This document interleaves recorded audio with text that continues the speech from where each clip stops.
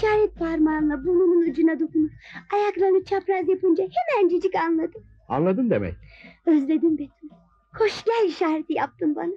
Vay canına. Ay çok romantiksin. Aynı İboş gibi. İboş mu? İbrahim, üçüncü nişanlım yani. O da bir dakika olsun yanımdan ayrılmaz. Beni hep yanında isterdi. Ay kıskanmıyorsun ya hayatım. Kendimi zor tutuyorum. Ama zamanla alışırım elbet. Ay çok affedersin Tarık'cığım. Necati'yi hatırladım birdenbire. Üçüncü nişanlım. Üçüncü İboş. Ay affedersin beşinci diyecektim. Ah.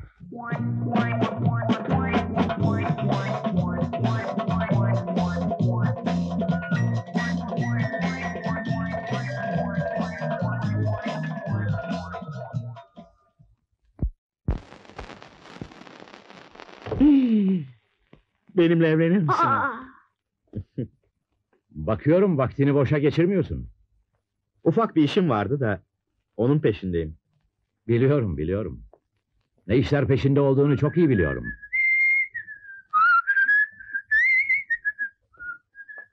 Ne oluyor be? Nedir bu rezalet? Murat'la Tarık birbirlerine sesleniyorlar Hulusi Bey. İyi bok yiyorlar. hoş geldin dayıcığım. Hoş bulduk ahbap. Müdür oldun değil mi dayı? Şey, müdürlük gibi bir şey ahbap. Ama topu topu 150 kişi var emrimde. Olsun. Kaç gün çalışacaksın dayı? Sen büyüyünceye kadar. Sorarım o saygısıza ben. En kıymetli içkilerimi içtiği yetişmiyormuş gibi bütün keklerimi değmiş Allah'ın cezası. Be- belki o yapmamıştır Hulusi Bey. Sen nasıl içersin benim içkilerimi ha? Nasıl içersin? Enişte ben şey... Edip! Ha, içtim. Üzüntümden içtim enişteciğim. Ne üzüntüsü be? İki buçuk liralık şarap neyine yetmiyor? Bu ne cesaret, bu ne küstahlık? Haklısın enişte. Kekleri de mi üzüntünden zıkkımlandın ha?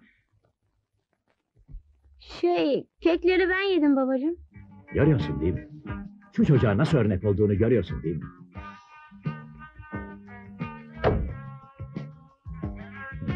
Dayını iyi korudun ahbap. Sen gidersen ne yaparım sonra?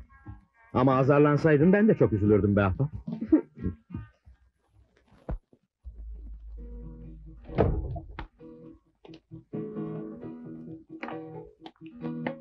Hani söz vermiştin gidiyordun. Vazgeçtim. Ulan üstelik eniştemin içkilerini de yürütmüşsün. Ödünç aldım. Acıkmıştım ya. Yürü hadi hemen gidiyorsun buradan. Hmm, deli miyim ben? Elmas almadan adımımı bile atmam. Yahu yemin ettik ya bu sabah. Yok işte. Burada yok. Zorla mı atayım istiyorsun? Hadi be hadi yürü. Hadi hadi. Ver elması gideyim hadi. Başlarım şimdi senin elmasına. Hadi git başka yerde ara elmasını. Gürültü oluyor. Enişten duyacak. Bak kardeşim. Diyorum ki çık bu evden. Çık. Yani böyle çık git. Aa, gitmem. Git be gitsene be.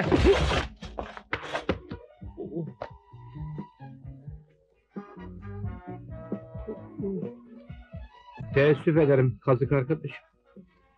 Ya kusura bakma. Çok öfkelendim birden.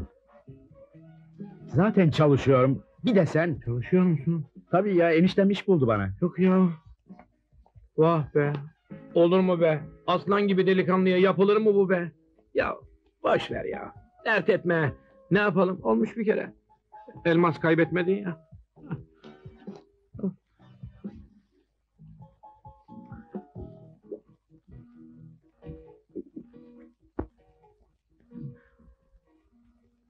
Nedir senin derdin be reis?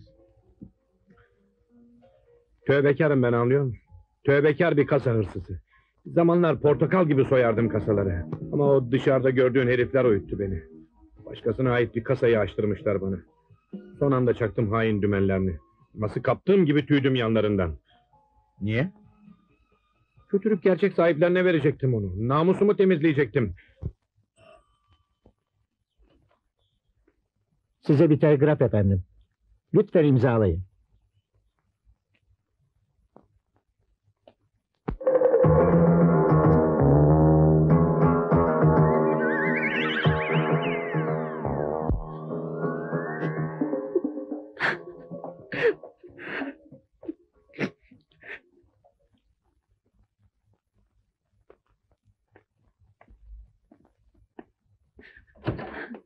Merhaba Tonton. O da ne? Ağlıyorsun sen ya. Kötü bir haber mi aldın yoksa? Mübeccelim. Zavallı mübeccelim benim. Ah, ablalığımı gösteremedim sana. Trafik kazası geçirmiş değil mi? Canım kardeşim benim. Sen? Sen nereden biliyorsun? Ben yazdım telgrafı. Sen mi yazdın? E yazdım işte. Yani? Yani yok böyle bir şey. Trafik kazası geçirmedi mi Beccel hala? Seni musibet seni. Niye yaptın bunu? Perişan oldum. Dünya başıma yıkıldı biraz. Hah işte dünyayı eniştemin başına yıkarsak oldu bu iş. Ah benim iyi kalpli sırrım. Hmm. Şu keçi hulusi yumuşar mı acaba? Bir telgraf daha çekersem enişteye bu iş tamam diyorum. Ne yazacağız telgrafa?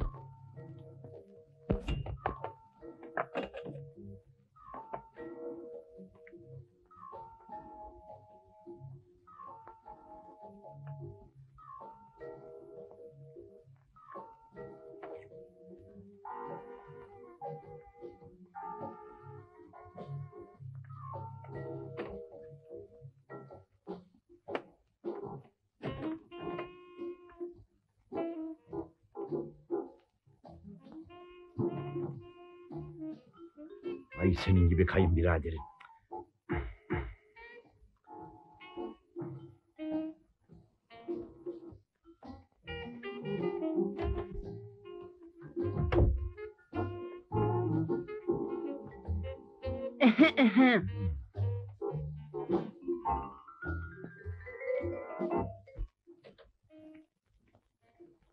Ee, ne oluyor? Burada da mı rahat yok? Ulan az yiyin de az şey yapın biraz be. Herkesin de bilmem ne yapacağı tuttu bu gece.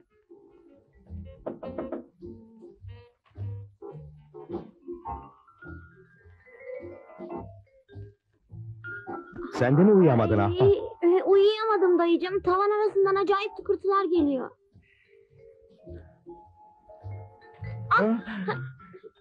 Delirdin mi sen ya? Sıkıştım ya. Ya ne yapalım sıkıştıysan manyak mısın sen ya? Çık git hadi. Sen git yat istersen ahbap. Ha? Sonra anlatırım ben sana. Çabuk kaybol. Tamam tamam gidiyoruz.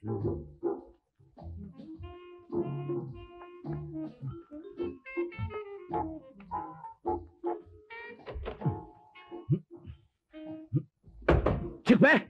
Çık dışarı! Babanın yeri mi orası? Çık çabuk! Başımın belası! Daha şimdi girmiştim enişteciğim.